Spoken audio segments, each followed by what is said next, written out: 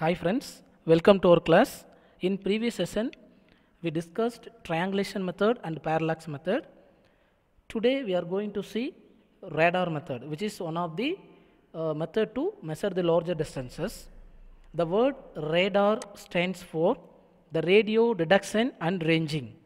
A radar can be used to measure accurately the distance of nearby planets such as Mars. In this method, radio waves are sent from transmitters, which after reflection from the planet are detected by the receiver by measuring the time interval between the instance of radio waves or sent and received by the distance of the planet can be determined. அதாவது radar அப்படிங்கிறதுக்கான abbreviation radio detection and ranging அப்படின்னு சொல்லுவோம் இப்போ பார்த்தீங்கன்னா இது வந்து ஒரு object பக்கத்தில் இருக்கக்கூடிய பிளானட்ஸ் ஒரு ஆப்ஜெக்ட்ஸுடைய டிஸ்டன்ஸை அக்யூரேட்டாக மெஷர் பண்ணுறதுக்கு இந்த மெத்தட் யூஸ் ஆகுது அப்படின்னு சொல்லலாம் நம்ம சின்ன கிளாஸ்லேருந்து இதை படிச்சுட்ருக்கோம் ஸோ அந்த ரேடியோ வேவ்ஸ் அப்படிங்கிற ரேடியோ அலைகளானது டிரான்ஸ்மிட்டர் அப்படின்ற பரப்பின் மூலிமா நமக்கு வந்து டிரான்ஸ்மிட்டர் பாயிண்ட்லேருந்து டிரான்ஸ்மிட் பண்ணுறோம் இந்த ரேடியோ வேவ்ஸ் ஆனது பிளானெட்டில் பட்டு ரிஃப்ளெக்ஷன் ஆன பின்னாடி மறுபடியும் ரிசீவரில் ரிசீவ் ஆகும். அந்த டிரான்ஸ்மிட் பண்ணுற டைமுக்கும் ரிசீவ் பண்ணுறதுக்கு டைமுக்கும் இடையில் இருக்கக்கூடிய டைம் இன்டர்வலை வச்சு நம்ம வந்து அந்த ஆப்ஜெக்டோடைய டிஸ்டன்ஸை கால்குலேட் பண்ணலாம். பாருங்கள் the speed is equal to distance travel by time taken where speed is நம்ம வந்து ஸ்பீடை பற்றி நம்ம செகண்ட் லெசனில் படிச்சிருப்போம். செகண்ட் கிளாஸ் செகண்ட் லெசனில் பார்க்க போகிறோம் sorry the distance d is equal to speed of radio waves into time taken நம்ம சிம்பிளாக வெலாசிட்டிக்கு பார்க்குற அதே ஃபார்முலா டிபெண்ட் பண்ணி பார்க்குறோம். Where is equal to V into T by two விங்கிறது இங்கே என்னென்னா speed of the radio wave and T by two அப்படிங்கிறது டைம் ஆஃப் தி அதாவது அந்த டிரான்ஸ்மிட்டர்லேருந்து ரீஸ் பிளானட்டுக்கு போயிட்டு ரிசீவ் ஆகி ரிட்டர்ன் வந்ததுக்கான டைம் டேக்கன் அதில் டி பை டூ ஏன் யூஸ் பண்ணுறோம் அப்படின்னா ஒரு டைம் மட்டும் தான் அதாவது இங்கேருந்து ட்ராவல் ஆன டைம் மட்டும் தான் நம்ம கால்குலேட் பண்ணுறதுக்காக டி பை டூ யூஸ் பண்ணுறோம் ஸோ இந்த மெத்தடை பயன்படுத்தி தான் நம்ம வந்து ஒரு பிளேன் ஒரு ஃப்ளைட் இதெல்லாமே வந்து எவ்வளோ ஹைட்டில் பறக்குது அப்படிங்கிறத தெரிஞ்சுக்கலாம். This method can also be use to determine the height at which an aeroplane flies from the ground கிரவுண்ட்லேருந்து எவ்வளோ ஹைட்டில் பறக்குது அப்படிங்கிறத தெரிஞ்சுக்கலாம். எக்ஸாம்பிள்ஸ் தான் பாருங்கள் radar signal is pick beamed towards a planet and its echo is received 7 minutes later. If the distance between the planet and earth is 6.3 into 10 to the power 10 meter calculate the speed of the signal. சிக்னலோடைய speed கேட்குறான் அப்போ பாருங்கள் நம்மகிட்ட time கொடுத்துருக்கான் seven minutes and distance கொடுத்தாச்சு six point three ten power ten metre so D and time T மினிட்ஸில் கொடுத்துருக்கு இது செகண்ட்ஸ் கன்வெர்ட் பண்ணால் இன்ட்டு சிக்ஸ்டி போட்டுக்க வேண்டியதான் so the speed is equal to two D by டீன்னு கிடைக்கும். ஏன்னா டி பை டூ ஃபார்ம்னா டி பை டூ போடும்போது டூ மல்டிப்ளிகேஷன் போயிடும் so two into six point three ten to power ten divide by seven into ten to power six so which is approximately 3 into 10 to the power 8 meter அதாவது the velocity of the radio waves is லைட்டோடைய வெலாசிட்டியில் travel ஆகுதுன்னு சொல்கிறோம் சரிங்களா? Some range and order of lengths so சில பொருட்களுடைய range அதனுடைய லென்த்தோடைய order சொல்லியிருக்கான் பாருங்கள் the distance of the boundary of observable universe யூனிவர்ஸோடைய observe observable boundary எவ்வளோனா ten to the power twenty six metre length இருக்குது அப்படின்னும் அதே மாதிரி distance to the Andromeda galaxy வந்து ten to the power twenty two மீட்டர்னும் size of our galaxy வந்து ten to the power twenty one மீட்டர்னும் அதே போல் நிறையா கொடுத்துருக்காங்க. நான் ஒன் ஆர் டூ மட்டும் பார்க்கலாம். The radius of the earth ten to the power seven metre டிஸ்டன்ஸ்லையும் thickness of the paper ten to the power minus four மீட்டர்லையும் diameter of the red blood cells வந்து ten to the power minus five மீட்டர்லையும் wavelength of the lights ten to the power minus seven மீட்டர்லேயும் அதே போல் the size of atomic nucleus ten to the power minus fourteen மீட்டர்லையும் diameter of the proton ten to the power minus fifteen மீட்டர்லையும் நமக்கு இருக்குது அப்படிங்கிறத த lengths வந்து describe பண்ணியிருக்கு. அடுத்து பாருங்கள் some common practical units நம்ம ரெகுலராக யூஸ் பண்ணிட்டு இருக்கக்கூடிய ஃபிசிக்ஸில் யூஸ் பண்ணுற ப்ராக்டிக்கல் யூனிட்ஸ் என்னென்ன? அதனுடைய வேல்யூஸ் எவ்வளோ அதனுடைய ப்ரிஃபிக்ஸ் இதெல்லாம் நம்ம பார்க்க போகிறோம் பாருங்கள் ஃபஸ்ட் ஃபெர்மி அப்படிங்கிறது. One fermi is equal to ten to the power minus fifteen metre இல்லை ஒன் மார்க்லேயோ அல்லது கொஸ்டின்லேயோ கேட்க சான்சஸ் இருக்கும். ஸோ ஒன் ஆங்ஸ்ட்ராங் அப்படிங்கிறது ten to the power minus ten மீட்டருக்கு ஈக்குவல் ஒன் நேனோமீட்டர் அப்படிங்கிறது நேனோனா ten to the power minus nine so ten to the power minus nine metre micron மைக்ரோனா ten to the power minus six so one mu m is equal ten to the power minus six metre one light year அப்படிங்கிறது என்னென்னா the distance travel by the light in vacuum in one year அதாவது ஒரு வருஷத்தில் light வந்து வெற்றிடத்தில் எவ்வளோ தூரம் travel பண்ணுமோ அதுதான் ஒன் லைட் இயர்னு சொல்லுவோம். The value of one light years equal to nine point four six seven into ten to the power fifteen metre அப்படின்னு சொல்லலாம். அடுத்து பாருங்கள் one astronomical unit one astronomical யூனிட்னா என்ன அப்படின்னா the mean distance of earth from the sun அதாவது சூரியனுக்கும் பூமிக்கும் இடையில சராசரி தொலைவை தான் நம்ம வந்து ஒன் அஸ்ட்ரானமிக்கல் யூனிட் அப்படின்னு சொல்லுவோம். இதை வந்து ஒன் ஏயு அப்படின்னு சொல்லுவோம் which is equal to one point four nine six into ten to the power eleven metre then one par second or one parallactic second அப்படின்னா என்ன அப்படின்னு பார்க்கலாம். இப்போ நம்ம இந்த ஒன் பேர் செகண்ட் அப்படிங்கிறதோ அல்லது ஒன் பேரலாக்டிக் செகண்ட் அப்படிங்கிறது எப்படி தெரிஞ்சுக்கலாம் அப்படின்னா நம்ம முன்னாடி கான்செப்ட்டுக்கு போகலாம். எதுக்குன்னா அந்த பேரலாக் பேரலாக்ஸ் மெத்தட் அப்படின்னு ஒன்று பார்த்துருந்தோம் இல்லைங்களா? ஸோ அந்த கான்செப்டில் போய் இப்போது பாருங்கள் அது ரெண்டு அதாவது ரைட் ஐ ரெண்டு ரெண்டு பொசிஷன் ஆஃப் ஆப்ஜெக்ட் அதாவது ரெண்டு ஐயில் பார்க்கும்போது அந்த ஆப்ஜெக்டோடைய பொசிஷன் மாறுற மாதிரி தெரியுதுன்னு சொன்னோம் இல்லைங்களா? அந்த டிஸ்டன்ஸை வந்து நம்ம என்ன எடுத்துக்கணும்னா அந்த ஒன் அஸ்ட்ரானமிக்கல் யூனிட்னு எடுத்துக்கலாம். சரிங்களா? அந்த ஒன் அஸ்ட்ரானமிக்கல் யூனிட்டை லார்ஜ் டிஸ்டன்ஸ்லேருந்து பார்க்கும்போது எப்போ வந்து ஒரு arc செகண்டுங்கிற I mean one second angle make பண்ணும்போது. ஒன் செகண்ட் ஆங்கிள் அப்படிங்கிறது என்னென்னா ஒரு டிகிரியை சிக்ஸ்டியால் டிவைட் பண்ணி அந்த அதனால் வரக்கூடிய ஒரு வேல்யூவை மறுபடியும் சிக்ஸ்டியால் டிவைட் பண்ணி வரக்கூடிய ஒரு செகண்ட் அப்படிங்கிறது ஒரு செகண்ட் அப்படின்னு சொல்லுவோம். அதாவது where one second is equal to one divide by three thousand six hundred degree அப்படிங்கிறத சொல்லுவோம். ஸோ அதை தான் வந்து நம்ம one second of arc length அப்படின்னு சொல்லுவோம். Sorry one second of arc அப்படின்னு சொல்லுவோம். அந்த ஒன் செகண்ட் ஆஃப் ஆர்க் அப்படிங்கிறது அந்த ஆங்கிள் வந்து ஒன் மினிட்டாக இருக்கும்போது நமக்கு அந்த ரேடியஸை நம்ம வந்து என்னென்னு சொல்லலாம்னா ஒன் பேர் செகண்ட் அப்படின்னு சொல்லலாம். நல்லா புரிஞ்சுக்கோங்க. பேரலாக்ஸ் மெத்தடில் கண்டுபிடிச்ச ஒரு ஐயை மூடிட்டு இன்னொரு ஐயை வச்சுக்கிட்டு நம்ம வந்து ஆப்ஜெக்டோடைய பொசிஷன் சேஞ்ச் ஆகுதுன்னு சொன்னோம் இல்லைங்களா? அதில் வந்து ரெண்டு பொசிஷன் நம்ம எடுத்துக்கலாம். அந்த ரெண்டு பொசிஷனுக்கு இடையில டிஸ்டன்ஸை ஒன் அஸ்ட்ரானமிக்கல் யூனிட்னும் அந்த அதை பார்க்குறதுக்கு வியூ பண்ணும்போது இந்த ரெண்டு ஆப்ஜெக்டோடுக்கு மேக் பண்ணக்கூடிய ஆங்கிள் ஒன் செகண்டாக இருக்கும்போது த ரேடியஸ் அந்த அதாவது அந்த பாயிண்ட்டையும் ஆர்க்கு பாயிண்ட்டையும் ஜாயின் பண்ணக்கூடிய அந்த ரேடியஸ் ஒன் பேர் செக் அப்படின்னு சொல்லலாம். One parsec equal to three point zero eight into ten to the power sixteen metre or three point two six light year அப்படின்னு சொல்லலாம். சரிங்களா?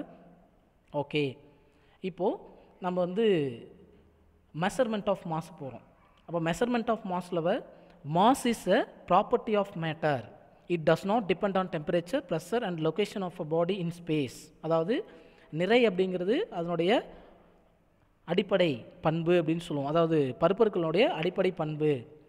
இது வந்து இந்த நிறை அப்படிங்கிறது வெப்பம் அழுத்தம் மற்றும் வெளியில் இருக்கக்கூடிய சூழ்நிலைகளால் அதை வந்து டிபெண்ட் பண்ணி இருக்காது. So mass of a body is defined as the quantity of matter contained in a body அதாவது ஒரு பொருளில் அடங்கியுள்ள பருப்பொருள்களை வந்து தான் நம்ம வந்து என்னென்னு சொல்லுவோம்னா நிறை அப்படின்னு சொல்லுவோம். The SI unit of mass is kilogram SI unit of mass is kilogram in masses of object which we will study in this course vary over wide range. அதாவது மாசஸ் நம்ம படிக்கக்கூடிய இந்த கான்செப்டில் மாஸ் அப்படிங்கிறது வைட் ரேஞ்சில் இருக்குது அதாவது very tiny மாஸ்லேருந்து வெரி ஹியூஜ் மாஸ் வரைக்கும் இருக்குது அப்போ டின்னி மாஸுக்கு எக்ஸாம்பிளாக வந்து எலக்ட்ரானுடைய மாசையும் nine point one one in ten to power minus thirty one கிலோகிராம்னும் huge மாஸுக்கு எக்ஸாம்பிளாக வந்து the யூனிவர்ஸோடைய mass ten to the power fifty five கிலோகிராமையும் நம்ம எக்ஸாம்பிளாக வச்சுருக்கோம். அதாவது இந்த ஆர்டர்லேருந்து இந்த ஆர்டர் வரைக்கும் நமக்கு என்ன ஆகுதுன்னா மாஸ் வந்து வேரி ஆகுது அப்படிங்கிறத நம்ம நோட்டிஃபை பண்ணுறோம் ordinary mass of an object is determined in kilogram நமக்கு தெரியும். இப்போ நம்ம ஜென்ரலாக ஏதாவது ஒரு அரிசி வாங்குகிறோம் பருப்பு வாங்குகிறோம் எல்லாமே வந்து பார்த்திங்கன்னா நம்ம கிலோகிராமில் தான் வாங்குகிறோம் so using a common balance நம்ம சாதாரண ஒரு தராசை வச்சு யூஸ் பண்ணுறோம் which is use in groceries of இதே வந்து நம்ம யூஸ் பண்ணக்கூடிய நிறைய பேலன்சஸ் இருக்குது அதில் ஒன்று commonly used common balance spring balance electronic balance இது எல்லாமே வந்து பார்த்திங்கன்னா நம்ம காமனாக யூஸ் பண்ணக்கூடிய balances so but for measuring the larger masses like planets stars etcetera we make use the gravitational method இதுதான் கொஞ்சம் அப்சர்வ் பண்ணும். இப்போ பிளானட் ஸ்டார்ஸ் எல்லாம் நம்ம டேரெக்டாக மெஷர் பண்ண முடியாது. அப்போ நம்ம இதை எப்படி வச்சு மாஸ் மாசை வந்து கால்குலேட் பண்ணலாம்னா கிராவிடேஷனல் மெத்தடை வச்சு கால்குலேட் பண்ணலாம். For measuring of the small masses சரி லார்ஜர் மாசஸை நம்ம வந்து கிராவிடேஷனல் மெத்தட் வச்சு கால்குலேட் பண்ணலாம். ஸ்மாலர் மாசஸ் எப்படி மெஷர் பண்ணுறதுன்னா ஆர் ஸ்மாலர் இஸ் இந்த sense atomic and subatomic பார்ட்டிகல்ஸோடைய மாசஸை using mass spectrometer or mass spectrograph அப்படின்ற மெத்தடை வச்சு நம்ம ஸ்மால் அமௌண்ட் ஆஃப் மாசஸை கால்குலேட் பண்ணிக்கலாம். The international one kilogram standard of mass அப்படிங்கிறது பார்த்தீங்கன்னா ஒரு பிளாட்டினம் இரிடியம் சிலிண்டர் வந்து பாரிஸில் ப்ளேஸ் பண்ணப்பட்டிருக்குன்ட்டு நம்ம முன்னாடியே பார்த்துருப்போம். இப்போ அந்த பிளாட்டினம் இரிடியம் சிலிண்டருடைய ஹைட்டும் டயாமீட்டரும் சேமாக இருக்குன்னு சொல்லியிருந்தாங்க. அந்த ஹைட் டயாமீட்டர் எவ்வளோனா த்ரீ பாயிண்ட் நைன் சென்டிமீட்டர் அதே போல் இந்த பிளாட்டினம் இரிடியம் காம்பினேஷனுடைய ரேஷியோ பார்த்தீங்கன்னா நைன் இஸ்ட் ஒன் அப்படின்ற ரேஷியோவில் இருக்கும். Then why is the cylinder is used defining kilogram made up of platinum iridium alloy அப்படின்னு சொல்லி பார்த்தீங்கன்னா ஏன் வந்து பிளாட்டினம் இரிடியம் அலாய் வந்து கிலோகிராம் மெஷர் பண்ணுறதுக்கு ஒரு ஸ்டாண்டர்ட் யூனிட்டாக வச்சுருக்கோம் அப்படின்னா this is because the platinum iridium alloy is least affected by the environment and time காலத்தாலையும் சூழ்நிலையாலையும் மிக குறைந்த அளவு இந்த பிளாட்டினம் இரிடியம் கலவையானது குறைவான அளவு பாதிக்கப்படுறதுனால நம்ம அதை ஸ்டாண்டர்டாக யூஸ் பண்ணிகிட்ருக்கோம் அதே போல் மாஸில் மிகப்பெரிய மாஸ் அப்படிங்கிறது பார்த்தீங்கன்னா சந்திரசேகர் லிமிட் அப்படின்னு சொல்லுவோம். The Chandrasekhar limit is the largest practical unit of mass. One Chandrasekhar limit is equal to 1.4 times the mass of the sun. அதாவது ஒரு சிஎஸ்எல் அப்படிங்கிறது சன்னுடைய மாஸ் மாதிரி ஒன் பாயிண்ட் ஃபோர் டைம்ஸ் இருக்கும் அப்படின்ட்டு சொல்லியிருக்காங்க. The smallest practical unit of time is shake one six equal to ten to power minus eight second அப்படின்னும் சொல்கிறோம் நெக்ஸ்ட்டு ரேஞ்ச் ஆஃப் மாசஸ் பாருங்கள் ஒரு சில ஆப்ஜெக்ட் அதனுடைய மாஸோடைய ரேஞ்சு கொடுத்துருக்கா. எலக்ட்ரானுடைய மாஸ் பாருங்கள் ten to the power minus thirty kilogram proton or நியூட்ரானோடைய mass ten to the power minus twenty seven kilogram uranium atom பார்த்தீங்கன்னா ten to the power minus twenty five kilogram red blood கார்பஸ்கள் பார்த்தீங்கன்னா ten to the power minus fourteen அதுபோல் நிறைய கொடுத்துருக்கோம். Rain ட்ராப்புக்கு ten to the power minus six kilogram and frog ten to the power minus one kilogram car ten to the power three kilogram இதெல்லாம் நெகட்டிவில் கொடுத்துருக்கோம். இதெல்லாம் positive value பாருங்கள் அதே போல் ஹியூமனுக்கு பாருங்கள் ten to the power two kilogram and moon ten to the power twenty three kilogram earth twenty ten to power twenty five kilogram sun ten to power thirty kilogram milky way ten to power forty one kilogram observable universe ten to power fifty five kilogram so இது போல் minimum எலக்ட்ரான்லேருந்து universe வரைக்கும் நமக்கு வந்து மாஸுடைய ranges vary ஆகுது. அடுத்து measurement of time intervals a clock is used to measure the time interval An atomic standard of time is based on the periodic vibrations produced in a cesium atom. Some of the clocks developed later or electric oscillator, electronic oscillator, solar clock, quartz crystal clock, atomic clock, decay of elementary particles, radioactive dating. The order of time intervals are tabulated. கீழே கொடுத்துருக்கோம் அதுக்கு முன்னாடி வந்து பார்ப்போம் அதாவது ஒரு time interval கால இடைவெளி அப்படிங்கிறது நமக்கு வந்து டை மெஷர் பண்ணுறதுக்கு நமக்கு வந்து கடிகாரம் பயன்படுது அந்த ஒரு சிசிஎம் அணுக்கடிகாரம் அப்படிங்கிறது என்ன அப்படின்னு சொல்லி பார்த்தீங்கன்னா அது சீரான இடைவெளியில் உருவாக்கக்கூடிய அந்த அதிர்வுகளை வச்சு கணக்கிடப்படுகிறது. பின்னர் வந்து பார்த்திங்கன்னா இதை சிசிஎம் அணுக்கடிகாரம் அப்படிங்கிறது முன்னாடியே உங்களுக்கு எக்ஸ்ப்ளனேஷன் கொடுத்துருக்கு.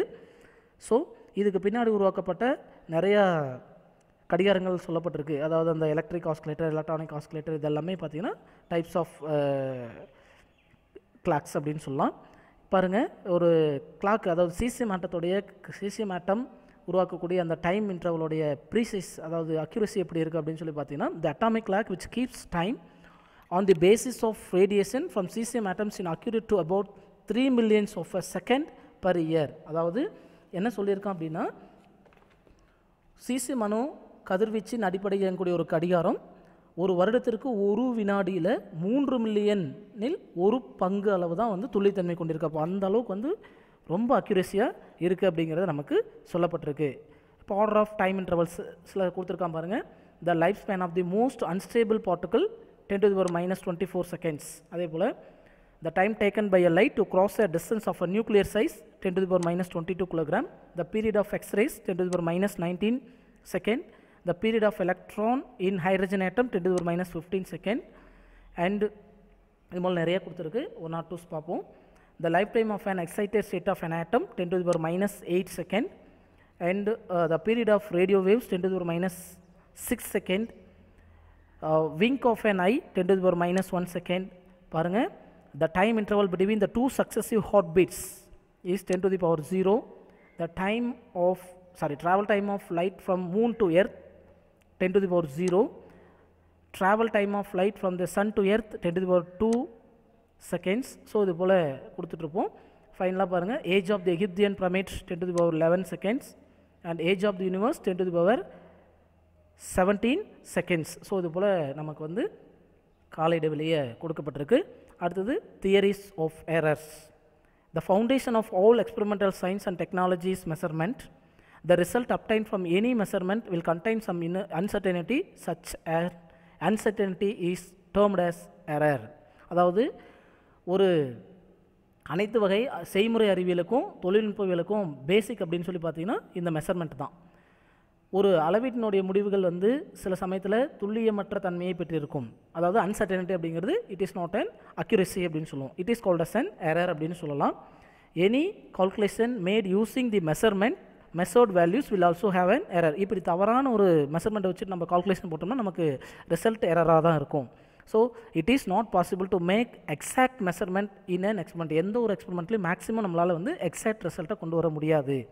In measurements two different terms of accuracy and precision are used நம்ம இந்த இடத்துல அக்யூரசி ப்ரீசெஷன் அப்படின்ற ரெண்டு வேர்ட்ஸ் நம்ம யூஸ் பண்ணுறோம் அப்போ what is mean by accuracy and precision அப்படின்னு சொல்லி பார்த்தீங்கன்னா accuracy refers to how far we are from the true value அதாவது accuracy refers to how far we are from the true value அக்யூரசினா துல்லியத்தன்மைன்னு சொல்லுவோம்.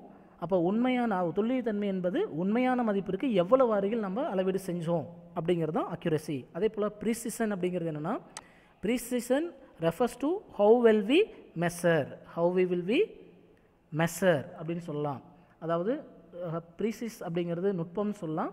இரண்டு அல்லது அதற்கு மேற்பட்ட அளவுகள் ஒன்றுக்கொன்று எவ்வளவு நெருக்கமாக உள்ளது அப்படிங்கிறத குறிக்கிறதா வந்து அக்யூரசி அப்படின்னு சொல்லுவோம். சரிங்களா? அதாவது நுட்பம் அப்படின்னு சொல்லுவோம். In India national physical laboratory in New Delhi has the responsibility of maintenance and improvement of physical standards of length, mass, time, etc.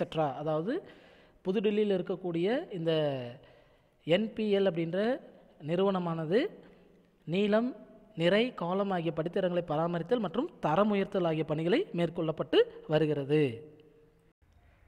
Next accuracy and ப்ரீசிஷன் அதாவது துல்லியம் மற்றும் நுட்பம் அப்படின்னு சொல்லுவோம். ஃபார் எக்ஸாம்பிள் இப்போது நம்மளுடைய ஹைட்டு பாருங்கள் சாதாரணமாக ஒரு ஃபைவ் ஃபீட்ஸ் நைன் இன்ச்சஸ் அப்படின்ட்டு நான் ஒரு சாதாரண ஒரு மெஷர்மெண்ட் ஸ்கேல் மூலிமா நான் மெஷர் பண்ணுறேன் பட் இதுதான் என்னுடைய எக்ஸாக்ட் ஹைட்டும் அப்போது இன்கேஸ் ஒரு இன்னொரு மெஷர்மெண்ட் ஸ்கேல் மூலிமா நான் மெஷர் பண்ணும்போது என்னுடைய ஹைட்டு பார்த்தீங்கன்னா ஃபைவ் இன்ச்சஸ் மட்டும்தான் கிடைக்குது. சாரி ஃபைவ் ஃபீட்ஸ் மட்டும்தான் கிடைக்குது.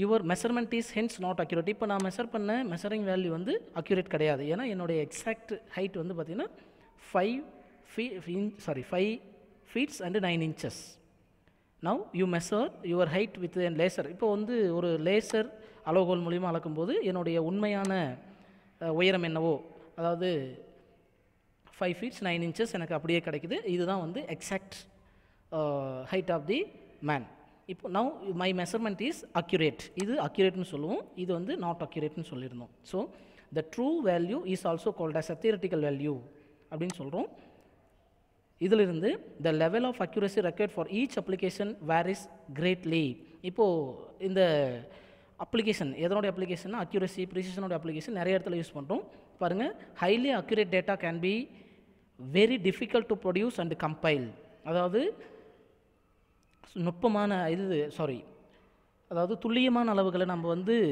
கால்குலேட் பண்ணுறதும் அதை வந்து தொகுக்கிறது ரொம்ப சிரமம்.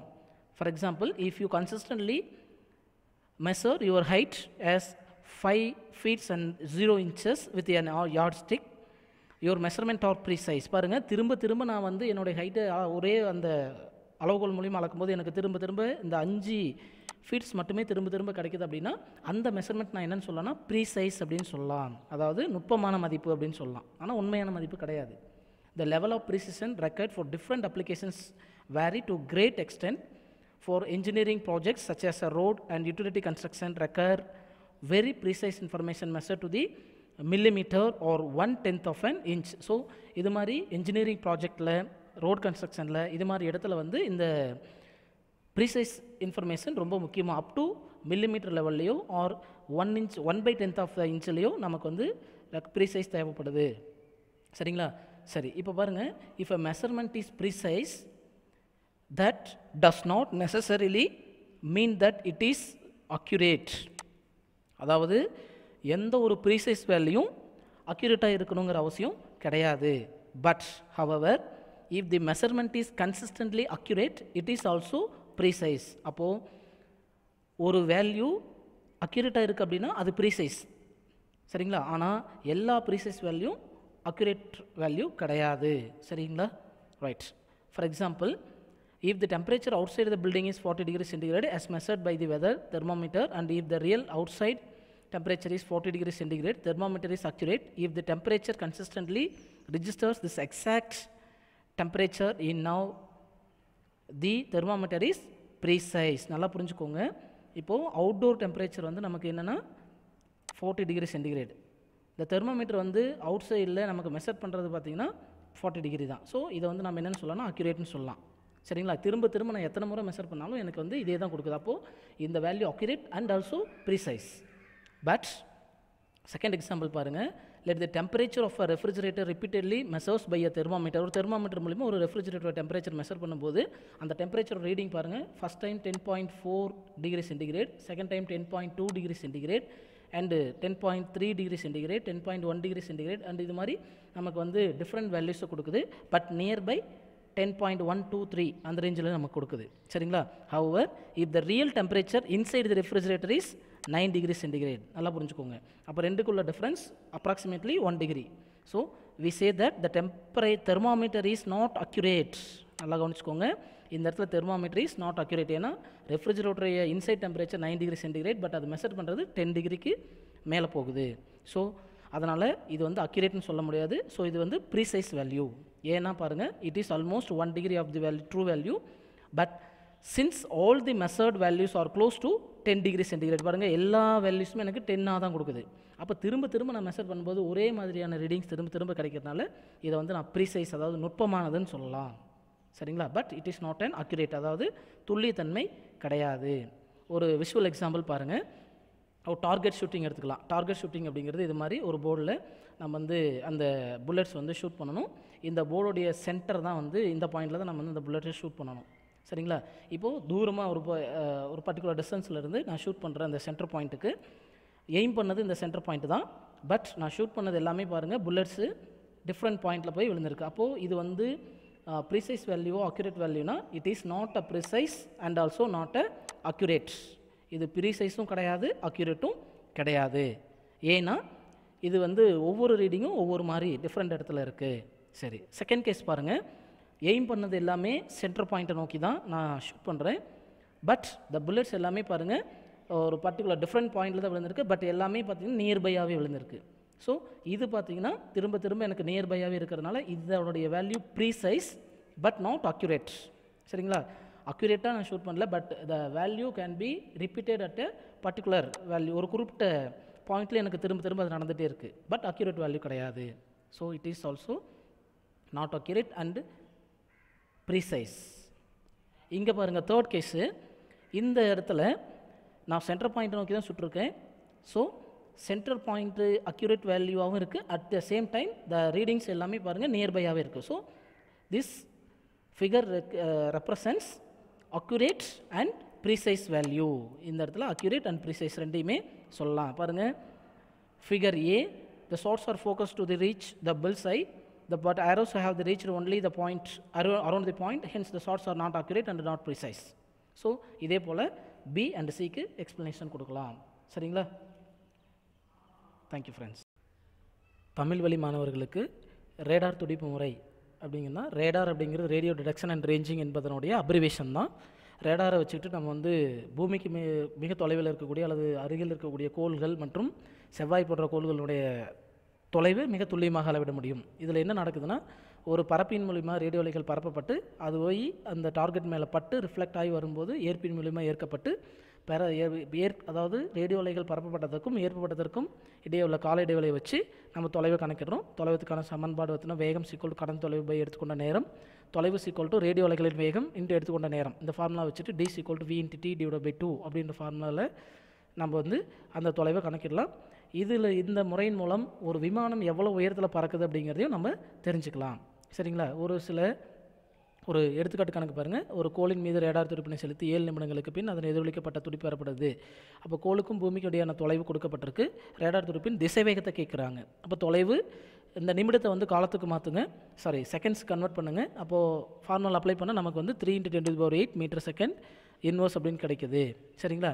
அப்போது ஒரு சில நீளம் நெடுக்கங்களும் நீளத்தினுடைய நெடுக்கங்களும் அதனுடைய வரிசைகளும் கொடுக்கப்பட்டிருக்கு. அண்டத்தின் எல்லையின் அறிந்த தொலைவு பத்து நடுக்கு இருபத்தி ஆறு. பூமிக்கும் ஆண்ட்ரோமோடா விண்வெளி திரளுக்கும் இடையே உள்ள தொலைவு பத்து நடுக்கு இருபத்தி ரெண்டு. நமது விண்மீன் திறனோட அளவு பத்து நடுக்கு இருபத்தி ஒன்று. பூமிக்கும் அருகிலுள்ள விண்மீனுக்கும் இடையே உள்ள தொலைவு பத்து நடுக்கு பதினாறு மீட்டர். ஸோ இது மாதிரி நிறையா கொடுக்கப்பட்டிருக்கு. தாளின் தடிமன் புரோட்டா சாரி புரோட்டானின் விட்டம் பத்து நடுக்கு மைனஸ் பதினஞ்சு அப்படின்ட்டு. அதாவது ப்ளஸ்லேருந்து மைனஸ் வரைக்கும் மிகச்சிறிய அளவுலேருந்து மிகப்பெரிய அளவு வரைக்கும் நீளங்கள் கொடுக்கப்பட்டிருக்கு. அதே போல் சில பொதுவான நடைமுறை அலகுகளை கொடுக்கப்பட்டிருக்கு. ஒரு ஃபெர்மி அப்படிங்கிறது பத்து நடுக்கு மைனஸ் ஃபிஃப்டீன் மீட்டர் ஆங்ஸ்ட்ராங்கிறது பத்து நடுக்கு மைனஸ் பத்து மீட்டர் ஒரு நேனோ அப்படிங்கிறது பத்து நடுக்கு மைனஸ் நைன் மீட்டர் ஒரு மைக்ரானுங்கிறது பத்து நடுக்கு மைனஸ் ஆறு மீட்டர் ஒரு ஒளியாண்டு அப்படிங்கிறது என்ன வெற்றிடத்தில் ஒளியாண்டு ஒரு ஆண்டில் எவ்வளோ தூரம் போகுமோ அதை ஒரு ஒளியாண்டுன்னு சொல்லலாம். அதனுடைய மதிப்பு nine point four six seven ten to power fifteen metre வானியல் அலகு அப்படிங்கிறது புவியிலிருந்து சூரியனுடைய சராசரி தொலைவு. அதை ஒரு அஸ்ட்ரானமிக்கல் யூனிட்னு சொல்லுவோம். அப்போ ஒரு AUs equal to one point four nine six ten to power eleven metre ஒரு பேர் செகண்ட் அப்படிங்கிறது அதாவது பேரலாக்டிக் நொடி அப்படிங்கிறது என்னென்னா அந்த இடமாறு தோற்ற முறையில் கண்டுபிடிக்கப்பட்ட அந்த பொருட்களுடைய இரு அப்சர்வேபிள் டிஸ்டன்ஸ் அந்த டிஸ்டன்ஸ் வந்து ஒரு அஸ்ட்ரானமிக்கல் யூனிட்டாக எடுத்துக்கிட்டு அதனுடைய மைய கோணம் ஒரு செகண்டாக இருக்கிற மாதிரி எடுத்துக்கிட்டோம்னா அந்த வட்டவலினுடைய ஆரம் தான் வந்து ஒரு பர்செக் அப்படின்னு சொல்லுவோம். இதனுடைய மதிப்பு மூணு புள்ளி ஜீரோ எட்டு இன்ட்டு பத்து நடுக்கு பதினாறு மீட்டர் அல்லது மூணு புள்ளி ரெண்டு ஆறு ஒளியாண்டு அப்படின்னு நம்ம சொல்லலாம். சரிங்களா? இப்போ நிறையை அளவிடுதல். நிறை அளவிடும்போது நிறை அப்படிங்கிறது பருப்பொருளினுடைய அடிப்படை பண்பு. இது வெப்பநிலை அழுத்தம் அப்புறம் பொருட்களுடைய இருப்பிடம் ஆகியவற்றை சார்ந்து இருக்காது. அப்போ ஒரு பொருளில் உள்ள பருப்பொருளின் அளவே அப்பொருளின் நிறையின் வரையறுக்கப்படுது நிறையின் அளவு கிலோகிராம்னு தெரியும். இப்போது கிலோகிராம் சாதாரணமாக நம்ம கடையில் போய் ஒரு பொருள் வாங்குறோன்னா கிலோகிராமில் வாங்குவோம். இதை வந்து எலக்ட்ரானிக் தராசு வச்சு அளந்து கொடுப்பாங்க. அல்லது நார்மலாக ஒரு காமன் பேலன்ஸ் வச்சு அளந்து கொடுப்பாங்க. இல்லது ஒரு வில் தராசை வச்சும் நமக்கு வந்து இந்த அளவு அழகு அளந்து நமக்கு கொடுக்கலாம். இது வந்து அளவிடக்கூடியது. ஒருவேளை ஒரு சில நிறை அதிகமான பொருட்கள் விண்மீன் கோள்கள் ஆகியவற்றினுடைய நிறைகளை வந்து நம்ம ஈர்ப்பியல் முறைகள் மூலமாக அளவிடலாம். அதே போல் அணு மற்றும் அணுக்கரு துகள்களுடைய நிறைகளை வந்து நம்ம நிறை நிறமாலை மானியை பயன்படுத்தி அதனோட நிறைகளை கணக்கிடலாம். சரிங்களா? இப்போது அனைத்து உலக படித்தர் நிறை ஒரு கிலோகிராம் அப்படிங்கிறத நம்ம முன்னாடி பார்த்துருப்போம். அதாவது பாரிஸில் வைக்கப்பட்டிருக்குது அப்படின்ட்டு. அது வந்து பிளாட்டினம் இறுதியத்தினால் ஆனது அப்படின்னும். இதனுடைய விட்டமும் உயரமும் எவ்வளோனா மூணு புள்ளி சென்டிமீட்டர். அது வந்து எந்த ரேஷியோவில் இருக்கப்பட கலந்துருக்கு அப்படின்னா பிளாட்டினம் இரிடியமானது நைன் இஸ்ட் ஒன்றுங்கிற விதத்தில் நமக்கு வந்து கலக்கப்பட்டு இந்த உருளை உருவாக்கப்பட்டிருக்கு. சரிங்களா? அதே போல் நிறையினுடைய மிகப்பெரிய செயல்முறை அழகு அப்படிங்கிறது ஒரு சிஎஸ்எல்னு சொல்லுவோம். சந்திரசேகர எல்லை அப்படின்ட்டு. ஒரு சிஎஸ்எல் அப்படிங்கிறது சூரியன் நிறை போன்று ஒன்று புள்ளி நாலு மடங்கு இருக்கும். அதே போல் காலத்தினுடைய மிக குறைந்த நடைமுறை அழகு சேக்குன்னு சொல்கிறோம் ஒரு சேக் அப்படிங்கிறது பத்து நடுக்கு மைனஸ் எட்டு செகண்ட் அப்படின்ட்டு நம்ம சொல்லலாம். ஒரு சில அதே போல் நம்ம இந்த ஏன் வந்து இந்த ஒரு கிலோகிராம் ஸ்டாண்டர்ட் வேல்யூவுக்கு பிளாட்டினம் இரிடியம் உலோக கலவை பயன்படுத்துகிறோம் அப்படின்னு சொல்லி கேட்டிங்கன்னா இந்த பிளாட்டினம் இரிடியமானது சுற்றுச்சூழலாலும் காலத்தாலும் மிக குறைந்த அளவே பாதிக்கப்படுறதுனால நம்ம அதை தான் ஸ்டாண்டர்டாக எடுத்துக்கிறோம். அளவு அதாவது நிறைய அளவிடத்துக்கு ஒரு ரெஃபரன்ஸாக எடுத்துக்கிறோம் அப்படின்னு சொல்லலாம். இப்போ நிறையினுடைய நெருக்கங்கள் கொடுக்கப்பட்டிருக்கு. இப்போ எலக்ட்ரானோடைய நிறை பாருங்கள் ten to minus thirty kilogram proton அல்லது நியூட்ரான் பார்த்திங்கன்னா ten to minus twenty seven uranium cell இது மாதிரி ஒவ்வொன்றுக்கும் கொடுக்கப்பட்டிருக்கு. அதில் மனிதனுடைய நிறை பார்த்தீங்கன்னா ten to the power two kilogram காருக்கு ten to the power three kilogram அதே மாதிரி பூமிக்கு பாருங்கள் பத்து நடுக்கு இருபத்தஞ்சு கிலோகிராம் அதே மாதிரி அண்டத்துக்கு பத்து நடிக்கு ஐம்பத்தஞ்சு கிலோகிராம் எல்லாம் நம்ம முன்னாடி பார்த்துருக்கோம். இப்போ காலத்தை அளவிடுதல். ஒரு காலத்தை கால இடைவெளி அளிக்கிறதுக்கு நம்ம கடிகாரம் பயன்படுத்துகிறோம் இதில் மெயினாக அணுவியல் காலப்படித்திரம் அதாவது ஒரு சீசி மனு உருவாக்கக்கூடிய சீரான அதிர்வுகளின் அடிப்படையில் நம்ம வந்து அந்த கால இடைவெளி அளக்கிறோம். பின்வரும் காலங்களில் வந்து பார்த்திங்கன்னா அந்த மின் அலையேற்றி மின்னணு அலையேற்றி சூரிய கடிகாரம் குவார்ட்ஸ் கடிகாரம் அப்புறம் அடிப்படை துகள்களின் சிதை ஒரு காலம் கதிரியக்க வயது கணிப்பு இதெல்லாமே பின் தற்பொழுது உருவாக்கப்பட்ட கடிகாரங்கள் அப்படின்னு சொல்கிறோம் சரிங்களா?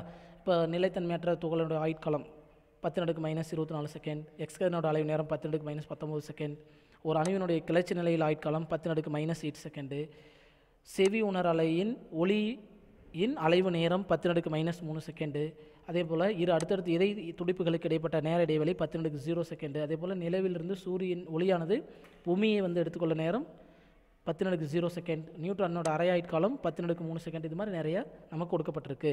சரிங்களா? அதே போல் இந்தியாவில் உள்ள தேசிய இயற்பியல் ஆய்வகம் நீளம் நிறை காலம் போன்ற இயற்பியல் படித்தரங்களை பராமரித்தல் மற்றும் தரம் உயர்த்தல் ஆகிய பணிகளை மேற்கொள்ளப்பட்டு வருகிறது அப்படின்னு சொல்ல சொல்லலாம். இப்போ பிழைகள்னால் என்ன அப்படின்னு பார்க்கலாம். ஒரு பிழை அப்படிங்கிறது என்ன? ஏதாவது ஒரு செயல் செய்யும்போது அதில் ஏற்படக்கூடிய தவறுகளை தான் நம்ம பிழைகள்னு சொல்லுவோம். இந்த பிழைகளை வச்சுக்கிட்டு நம்ம கணக்கீடு செஞ்சோம் அப்படின்னாலும் நமக்கு வந்து கிடைக்கக்கூடிய முடிவு தவறானதாக இருக்கும். அப்போது எந்த ஒரு அளவிடுதலையும் நம்ம வந்து சரியாக இருக்குது அளவீடுகளை எடுக்க முடியாது அப்படிங்கிறத சொல்லலாம். இப்போ அளவிடுதலில் வந்து ரெண்டு கான்செப்ட் நம்ம கொண்டு வரோம். ஒன்று வந்து துல்லியத்தன்மை இன்னொன்று வந்து நுட்பம் அப்படின்னு சொல்லலாம். அப்போ துல்லியத்தன்மைனா என்ன நுட்பம்னா என்ன அப்படின்னு சொல்லி பார்த்தீங்கன்னா துல்லியத்தன்மை அப்படிங்கிறது உன் என்பது உண்மையான மதிப்பிற்கு எவ்வளவு அருகில் அளவீடு செய்தோம்?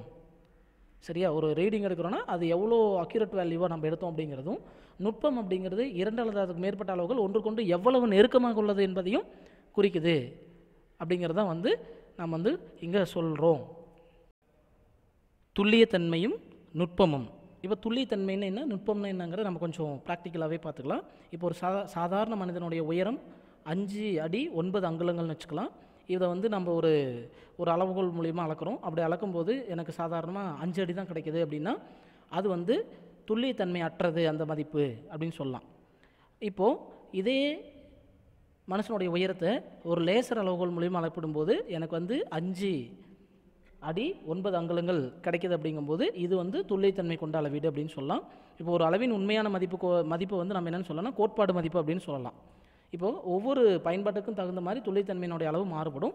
அளவீடுகளை மிக துல்லியமாக பெறுவதும் தொகுப்பதும் மிகவும் கடினம் அப்படின்னு சொல்லியிருக்கும். எடுத்துக்காட்டாக அளவுகோல் கொண்டு உங்களை நம்மளுடைய உயரத்தை அளக்கும்போது நமக்கு திரும்ப திரும்ப நான் ஒவ்வொரு டைமும் அளக்குறேன். அப்படி அளக்கும்போது எனக்கு வந்து அதே அஞ்சு அடி தான் வந்து கிடைக்கிது அப்படிங்கும்போது இது வந்து இந்த அளவீடு வந்து நுட்பமானது. ஃபஸ்ட்டு முறை அளக்குறேன் அஞ்சு அடி தான் காட்டுது. ரெண்டாவது முறை அளக்குறேன் அஞ்சு தான் காட்டுது. மூணாவது முறை அளக்குறேன் அஞ்சு தான் காட்டுது. ஆனால் உண்மையான மதிப்பு அஞ்சு அடி ஒன்பது அங்குலங்கள். அந்த ஒன்பது அங்குலங்கள் கிடைக்காதனால இந்த அளவீடு வந்து நுட்பமானதுதான் சொல்ல முடியுமே தவிர துல்லியமானதுன்னு சொல்ல முடியாது.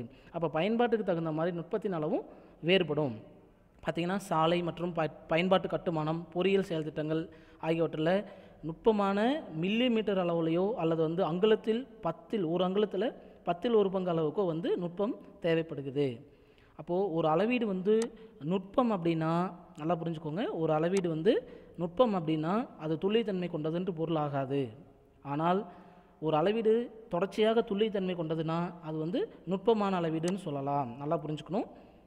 ஒரு அளவீடு நுட்பமானதுன்னா அது துல்லியத்தன்மை கொண்டதுன்றது பொருள் படாது ஆனால் ஒரு அளவீடானது தொடர்ச்சியாக துல்லியத்தன்மையோடு இருக்குதுன்னா அது வந்து நுட்பமான அளவீடுன்னு சொல்லலாம். எடுத்துக்காட்டு பாருங்கள் ஒரு கட்டடத்தின் வெளியில் உண்மையான வெப்பநிலை நாற்பது டிகிரி சென்டிகிரேட். அந்த வெப்பநிலை மானியை வச்சு நம்ம அளக்கும்போது அதுவும் நாற்பது டிகிரி சென்டிகிரேட் காட்டுச்சுன்னா அந்த வெப்பநிலை மானை காட்டுறது துல்லி துல்லியமான அளவீடு அப்படின்னு சொல்லலாம். சரிங்களா? அதை திரும்ப திரும்ப நான் அளக்கும்போது அதே நாற்பது டிகிரியிலே காட்டுதுன்னா அது வந்து நுட்பம் அப்படின்னு சொல்லலாம். ஒன்றுக்கு மேற்பட்ட அளவீடுகள் ஒரே அளவை காட்டும்போது அது நுட்பம் அப்படின்னு சொல்லுவோம். சரிங்களா? இப்போ மற்றொரு எடுத்துக்காட்டு பாருங்கள் ஒரு ரெஃப்ரிஜிரேட்டருடைய உண்மையான temperature nine degree centigrade or ten degree centigrade sorry nine degree centigrade ஆனால் நம்ம அந்த ரெஃப்ரிஜிரேட்டரில் அதாவது அந்த ஃப்ரிட்ஜுங்கிற குளிர்பதனைக்குள்ளே ஒரு வெப்பநிலை மானி வச்சு அளக்குறோம். அதனுடைய வெப்பநிலையை தொடர்ச்சி அளக்கும்போது ஒவ்வொரு முறையும் எனக்கு ஒவ்வொரு மாதிரியான அளவீடுகள் கிடைக்குது. ஃபஸ்ட் முறை பாருங்கள் பத்து புள்ளி நாலு டிகிரி சென்டிகிரேட் ரெண்டாவது முறை பத்து புள்ளி ரெண்டு டிகிரி சென்டிகிரேட் இது மாதிரி கிடச்சிட்டே இருக்குது. ஆனால் உண்மையான மதிப்பு கிடைக்கல. அப்போது இந்த மதிப்புகள் எல்லாமே நுட்பம். அப்போது அந்த வெப்பநிலை மானியானது நுட்பம் அப்படின்னு வேணால் சொல்லாமோ தவிர துல்லியத்தன்மை வாய்ந்தது அப்படின்னு சொல்ல முடியாது. சரிங்களா? ஒரு காட்சி உதாரணம் பாருங்கள் நல்லா கவனிச்சுக்கோங்க.